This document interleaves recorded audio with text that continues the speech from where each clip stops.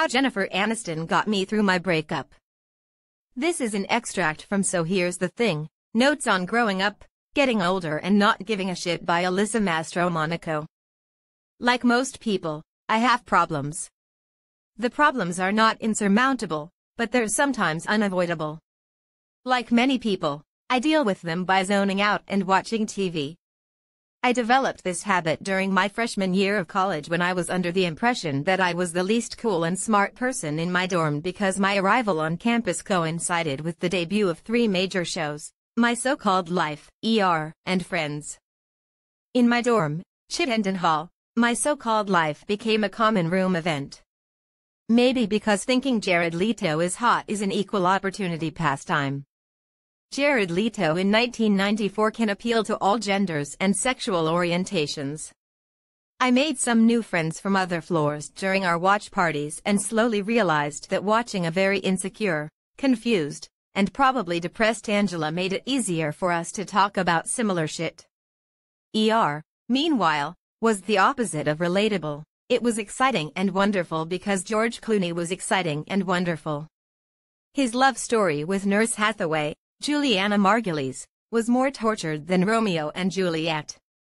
Also, I love hospital shows because it's basically like watching WebMD. You might not admit it, but you start to self-diagnose before the first commercial break.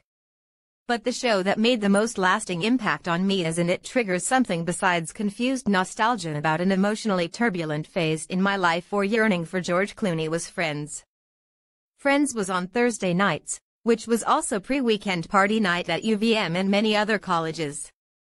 Luckily, I didn't like to go out despite what my sparkling Twitter persona may suggest. I'm easily felled by social anxiety so what I lost in social capital I made up for in being an expert on this show.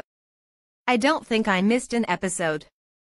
Though I wasn't a runaway bride and had no iconic haircut, I immediately liked Rachel Green, played by Jennifer Aniston, who, for all her prissiness, often found herself in the kind of scrapes I could relate to, foot-and-mouth miscommunications, imbalances between expectations and reality, and disliking things before she got to know them.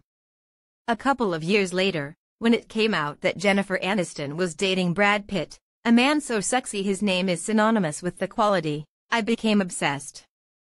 Along with my weird attachment to her character on Friends, I tracked every detail of Jennifer Aniston's relationship with Brad Pitt in the tabloids I was still ashamed to read.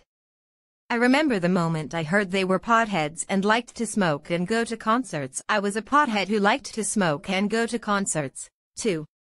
She was so likable and relatable, yet she nabbed the Hollywood heartthrob.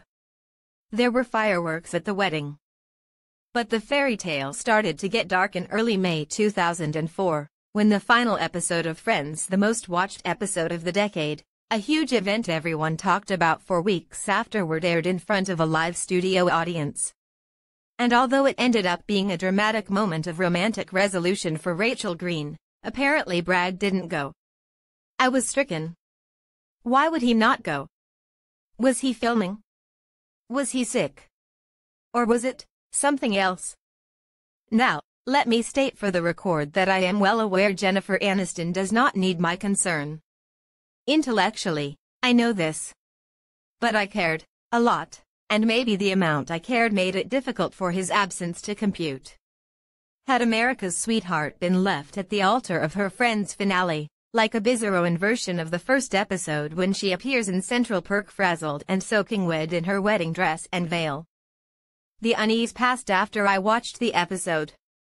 It was so emotional. Maybe none of the other cast members' partners were there I should have tried to find David Arquette.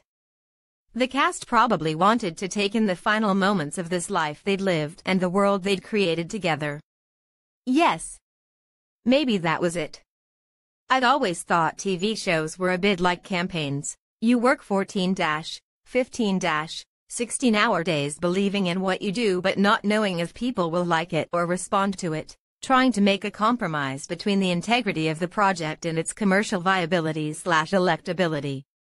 And though the cast of Friends was each making a million dollars an episode by the end, so this isn't a perfect comparison, it's true that for many shows you have no job security.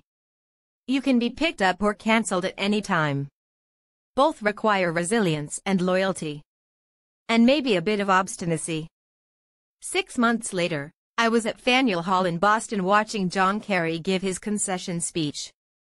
We didn't see it coming, and it was oddly one of the best speeches I think he's ever given. Same with Hillary her concession speech was second to none. Actually, this is also true of John McCain. Anyway, days later I was on the unemployment line in Anacostia with my friend Terry, and all I could think was that I wanted to go home and rewatch the last season of Friends, which I had on VHS. Rumors began to circulate that Brad had been getting cozy with Angelina Jolie, his Mr. and Mrs. Smith co-star and another actress in whom I could find no fault. Shortly after New Year's, there was a picture of Brad and Jen walking arm in arm canoodling. Actually on a beach in Anguilla he was wearing a t-shirt that read trash. My fears about their possible breakup were finally assuaged. Until a day later, when they announced their separation in this statement. We would like to announce that after seven years together we have decided to formally separate. For those who follow these sorts of things, we would like to explain that our separation is not the result of any of the speculation reported by the tabloid media. This decision is the result of much thoughtful consideration. We happily remain committed and caring friends with great love and admiration for one another. We ask in advance for your kindness and sensitivity in the coming months. A lot of thoughts were running through my head. Yes, there was the ordinary unnecessary but inevitable concern for Jen. Was she okay? Was this just for PR, or would they really remain friends? And then there was another question nagging me and the rest of the world. Was the Angie gossip true? There was also some self-interest in this fixation. By this point, I'd been dating Doug who shared some similarities with Brad Pitt in that he was a notable figure in DC, had been profiled by hotshot reporters, and was beloved by the ladies for about five years. He was basically double my height, handsome, and charming. Women would openly flirt with him in front of me. I knew it wasn't forever. Back then relationships made him feel like a caged animal. Maybe a ferret. He was open about it, and felt guilty about it, but there it was. It was the classic thing where he didn't want to hurt me, and breaking up with me would definitely hurt me, so instead he tried to mete out the hurt in tiny, imperceptible doses that he felt I wouldn't notice. If we were going to break up and we needed to I was going to be the one who had to do it. Even when you know you have to do it, breaking up always seems impossible. There's no good way to start. We need to talk? You might as well just skip the rest it's obvious where this is going. And when you know the guy is over it and just waiting for you to cut the cord, it's even worse. He was going to be relieved by whatever I said. There wouldn't be any effort to resuscitate this relationship, at least not romantically. No begging, though I can't say I didn't fantasize about it. And although he was kind of a jerk, romance-wise, I did still want to be friends. But then I thought about Jennifer Aniston. I know I am a teenager. But the lesson was that it didn't have to be all reality TV screaming matches and jealousy. We could get over our issues quietly and not hate each other. If Jen could be okay breaking it off with Brad Pitt and staying friends, allegedly, then I could be okay. The eyes of the world were on her I just lived in a one-room apartment with my bed eight feet from my oven. In totally unprofessional form, I initiated the conversation in the middle of the workday. Since we worked in the same place, this was easy no text message breakup here. Don't do this. I got it into my head that I should do it right then and my mental health trumped professionalism. I needed to not be alone after the conversation, and at work I had Favs and Tommy next to me in the back corner of the Obama Senate office and my friend Terry, who worked for Senator Maria Cantwell, down the hall. As I said in my last book, it happened right as they were announcing the new pope. Within days maybe one day the ladies had pounced. I stopped being invited to as many parties, but since I couldn't risk running into some comms in turn batting her eyelashes at my ex, I spent many more nights at home than I had before. Seriously, I became much less awkward after college and did enjoy going out, with music, tabloids, and yes, some pot.